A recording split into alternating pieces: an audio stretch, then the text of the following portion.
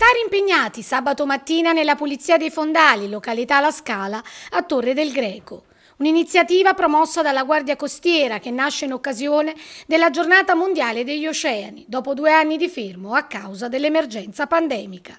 Erano presenti al porto il sindaco Giovanni Palumba e l'assessore Annarita Ottaviano. Il comune di Torre del Greco con altri pochi comuni ha partecipato a questa settimana per la pulizia dei fondali. Ringrazio la Cipesca, eh, ringrazio la Capitaneria di Porto, eh, ringrazio i volontari dell'Associazione dei, dei Subacquei e loro hanno portato avanti una pulizia del fondale sulla zona della, della scala.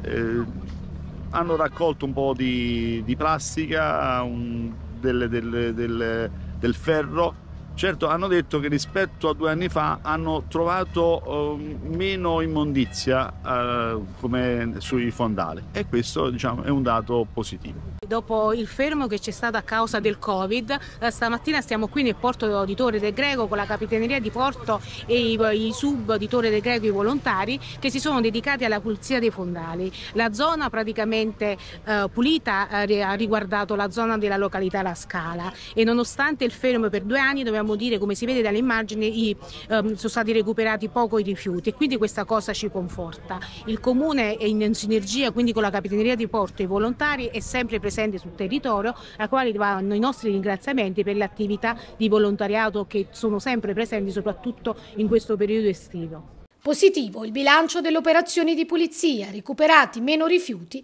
rispetto agli anni passati. Il bilancio possiamo dire che è stato ottimo perché abbiamo, diciamo, abbiamo fatto un intervento su una zona che avevamo già eh, perlustrato e diciamo, bonificato circa eh, tre anni fa, prima della pandemia.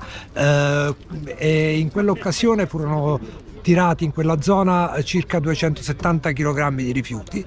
Oggi, dopo tre anni e mezzo, eh, possiamo quantificare in circa 50 kg, quindi diciamo che il risultato è veramente eccellente.